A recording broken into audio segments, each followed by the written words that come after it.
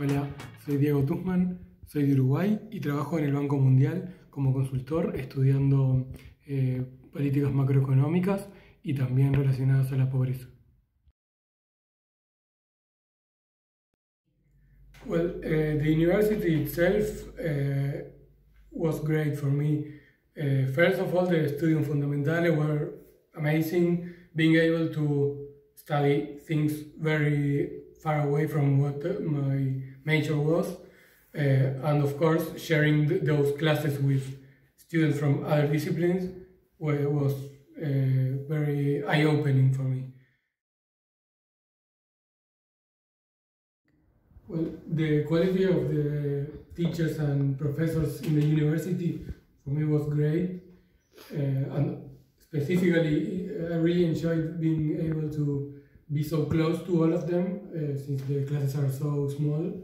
Uh, being able to really ask them what I wanted and they uh, would always have time for our doubts or to suggest an extra paper or something that I could be interested in.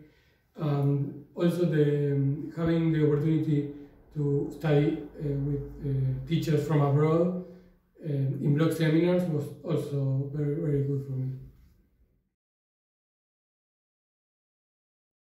For me, my favorite memories were or are um, going out with, with, my friends from the masters uh, for a beer or for some coffee and like just looking around the table and seeing people from uh, South Korea, Iran, Nigeria, the US, Colombia, Germany, Italy, Spain also, from all over the all over the world, just each of us giving our own perspective and like trying to understand what the world is like for everyone uh, around the, the table and around the earth.